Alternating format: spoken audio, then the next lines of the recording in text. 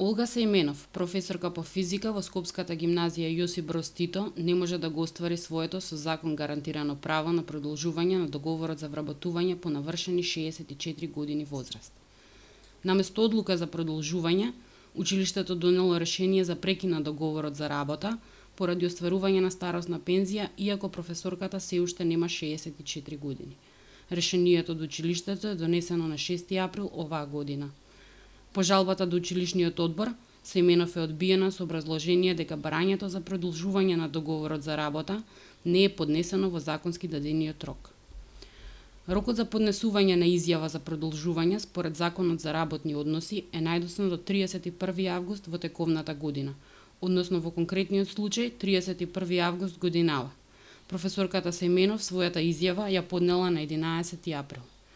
Дека изјавата е поднесена во законски дадениот рок, потврдува и народниот правобранител. Според него, подносителката постапила согласно законската одредба и поднела барање во тековната година кога полни 64 години. Народниот правобранител тврди дека на професорката Сејменов и се повредени законските права и му кажува на училиштето да ја преиспита постапката. Според препораките на Народниот правобранител, решението за прекинување на договорот за работа треба да се поништи и да се донесе ново решение со кое ќе се продолжи договорот за работа. Училиштето се уште не постапило по укажувањата, иако одлуката на Народниот правобранител е донесена пред месец. Семенов тврди дека службите ја известиле дека оваа одлука практично не стигнала до училиштето. Таа се обратила и до Министерството за образование и Министерството за труд и социјална политика, но се уште нема конкретен одговор. Иако режимот падна од власт, последиците од неговото 10 годишно владење се уште се чувствуваат. Се наоѓаме тука пред гимназијата Јосип Броз во Скопје, разговараме со професорката Олга Сејменов. Професорке, кажете ми како е после 23 години работно искуство во оваа институција, после речите целиот помина работен век помина тука, како е да да се борите со неа?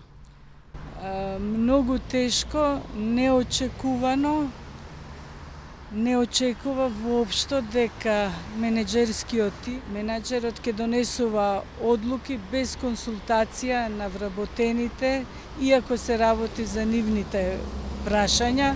Одлуките се конечни, иако сум испратила представки до многу институции надлежни за даденава проблематика, од никаде се уште немам одговор вклучувајќи го и одговорот до училиштето, односно до училишниот одбор, кој е надлежен да ги контролира да ја контролира законитоста на работењето на директорот.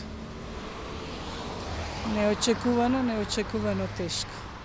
Дали би ги охрабриле останатите професори кои што имаат ваква или слична проблематика да се борат за своите работнички права? Да, секако Иако е многу борбата многу тешка, исцрпна, долготрајна, но јас сепак верувам дека на крајот правдата и правото ќе победи. И затоа сум решена и сум влегла во борбава да се борам до крај.